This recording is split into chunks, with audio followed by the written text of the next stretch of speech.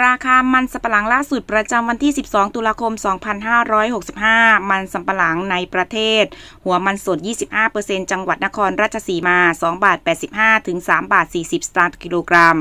มันเส้นครังอยุธยา 9 บาทต่อกิโลกรัม มันเส้นครังชนบุรี 8 บาท 70 สตางค์ถึง 9 บาทต่อกิโลกรัม แป้งมันครังกทม 17 บาทต่อกิโลกรัม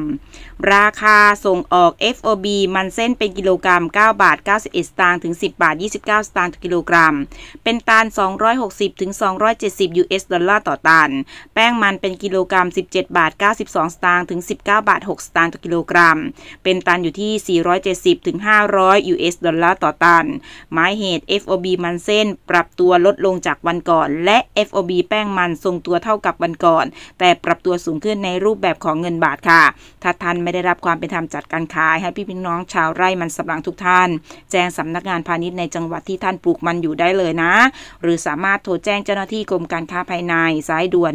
1569 ได้เลย เพื่อที่จะสอบถามเจ้าหน้าที่ว่า เอ๊ะ จังหวัดเราพื้นที่เราทำไมราคาตกต่ำเหลือเกิน